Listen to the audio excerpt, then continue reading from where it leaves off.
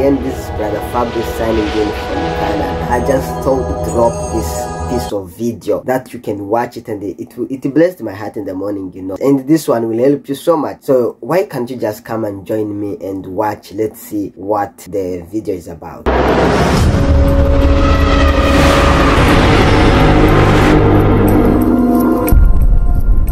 I and my father are one. He's referring to that promise. When he said, I and my father are one, is the word echad in the Hebrew in Deuteronomy chapter 6, verse 4. Hear, O Israel, the Lord our God is one Lord. Dr. Damina, how many God do we have? One. what about Trinity? One. Hear, O Israel, the Lord our God is how many? One.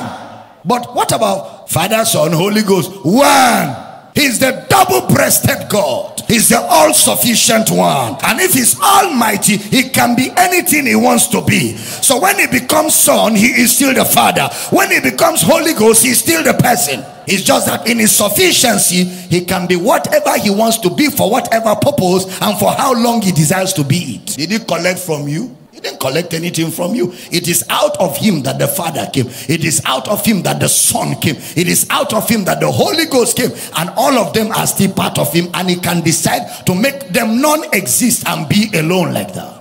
He's all sufficient one. He's all sufficient one. He became all of that for the purpose of redemption. For the purpose of redemption. If there was no fall of man, there'd be no Father, Son, Holy Ghost. Father, Son, Holy Ghost was to save man. That's a demonstration of God's love. He became Son because only Son can die. He became Holy Ghost because Holy Spirit can live in man. Right, so it solves a lot of mysteries. So when I began to be confused about this doctrine of Trinity, it did not make sense to me because every time I ask a question to someone, they would just say, "Well, Trinity is a mystery that we cannot understand. We'll understand it when we get to heaven." They said, "You know, Paul said we know in part and we prophesy in part, but when that is perfect, is come. So don't try to question a lot. Some things are meant to be known but never to be understood. Instead of answering my question." Question, you know, it gave me billions of questions to answer myself. So I remember struggling with it. I'm like, no, no, no. Now, when you come to North America or to Americas or to uh, Canada, USA, you find this doctrine so much dominant where everybody say, you know, the Father is not the Son, the Son is not the Father, the Son is not the Spirit, but these are all one. But it never makes sense. If you say the Father is not the Son, the Son is not the Spirit, the Spirit is not the Father, these are three persons they are all one i mean how does it factor into it? Never makes sense. You, because when you say the father is not the son what you are saying you are saying they are not they are different. They are not same. They are different. So how do we square it by saying all of them they are one? And you know many believers have failed to defend the doctrine of trinity especially when you decide to take that lane of saying you know the father is this is not the son the son is not the spirit. These are all one. No one understands it. And you know there are people they say you know i believe god is three persons and these persons they are separate they are different and they are two three persons which are very different from each other. So there are three gods but god is the father god is the son God is the spirit. There is only one God.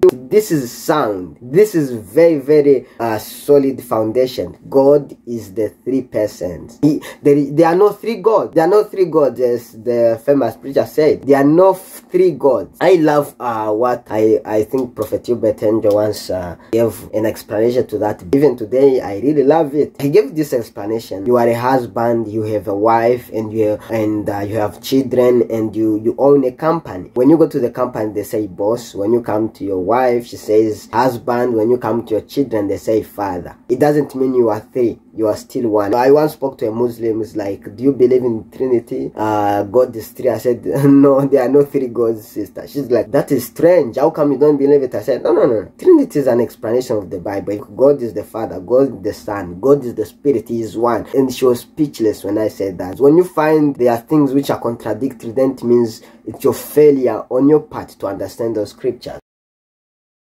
When you read uh, John chapter 8 verse 16, and yet if I judge my judgment is true, for I'm not alone, but I and the Father that sent me. I'm the one that bears witness of myself, and the Father that sent me beareth witness of me. Then said they unto him, Where is thy Father? 21. I go my way, and ye shall seek me, and shall die in your sin. He's saying something serious. 22. And said the Jews, Will he kill himself? Because he saith, Whether I go, ye cannot come. And he said unto them, Ye are from beneath, I'm from above. Ye are of this world, I'm not of this world. 24. I said therefore unto you that ye shall die in your sins. For if you believe I am not he, ye shall die in your sins. In other words, it says, if you do not believe I am the Father, you will die in your sins. Look at 25. They said, Who are you? And Jesus said unto them, Even the same that I said from I am, look, they said, who are you who is talking like Jesus? Jesus said, even the same that I said unto you from the beginning. Says, the one who I said unto you from the beginning. Remember, the discussion is about the Father from when we began reading. So the one I was telling from you, who are you? I am that person. I am that person who I am speaking about. He says, look, from the beginning, I've been telling you that I am the Father. So when you ask me who I am, I am the person who I've been telling you about. Jesus is saying explicitly, I am the Father. Verse 27. They understood not that he spake to them of the Father. They never understood that he was telling them the Father. Remember, says, I am he, I am the Father. Well, who are you? Says, I am the same I've been telling you from the beginning. They never understood about the Father. Jesus is the Father. At John chapter 14, look at verse 6. Jesus said to him, I'm the way. Then verse 7 says, If ye had known me, ye should have known my Father also. And from henceforth, ye know him and have seen him. From now, you know him and you have seen him. Saying the Father is right here. In other words, he's telling Philip, as Dr. Abel Damina says, I am the Father who you will ever see. Beside me, there is no other Father. In other words, saying the Father is right here. You know him and you have seen him. The Father is here. You have seen him. Verse 8 says, Lord, show us the Father and it suffices us. Jesus says in verse 9, Have I been so long with you, yet you have not known me? Even when I'm from telling you that you have seen me, you, I am the Father here right now. You cannot even understand. First Corinthians chapter 15, 47. The first man is of the earth, earthy. The second man is the Lord from heaven. So he's saying the first man is Adam, is of the earth. The second man is Jesus, is the Lord from heaven. Look at verse 45. And it, it is also written, the first man, Adam, was made a living soul. The last Adam was made a quickening spirit. So Jesus is the quickening spirit, a life-giving spirit. When you read it, Jesus is the life-giving spirit. So is the spirit. Is the spirit. John chapter 6 verse 63. It is the spirit that quickeneth. The flesh profited nothing. So the spirit is the one that gives life and we saw Jesus is the life-giving spirit. So Jesus clearly, Jesus is the Holy Spirit. Yes, Jesus is the Holy Spirit. The Holy Spirit is not some foreign spirit. Jesus is the Holy Spirit himself. Second Corinthians 3 verse 17 to 18. Now the Lord is that spirit. The Lord Jesus is that spirit. And where the spirit of the Lord is, there is a liberty. But we all with open face, beholding as in a glass the glory of the Lord, are changed into the same image from glory to glory, even as by the spirit of the Lord. The spirit of the Lord. Now the Lord is that spirit. Glory be to God. The Lord is that spirit. Which Lord? Jesus. And where the spirit of the Lord is, there is freedom. Jesus is that spirit. Jesus is the Holy Spirit.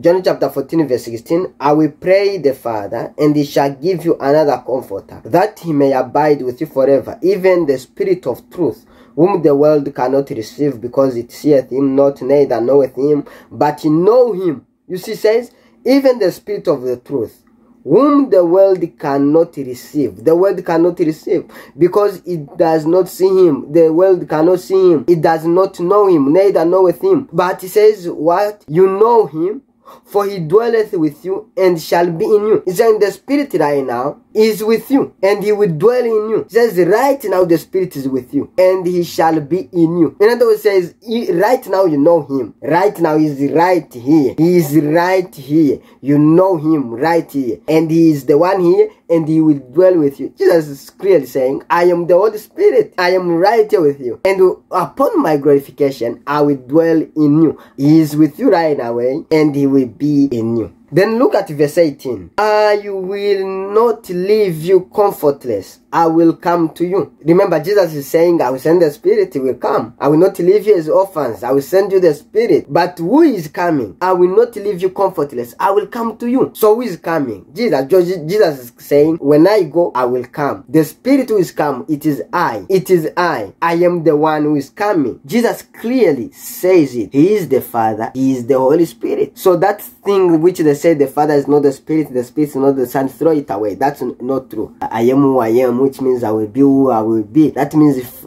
God needs uh, a man to die for the world, he will be the man. If he needs a spirit to dwell within man, he is the one who will come and dwell within man. God is the Father in creation, is the Son in salvation, is the Spirit in dwelling within man. Go and check this video right now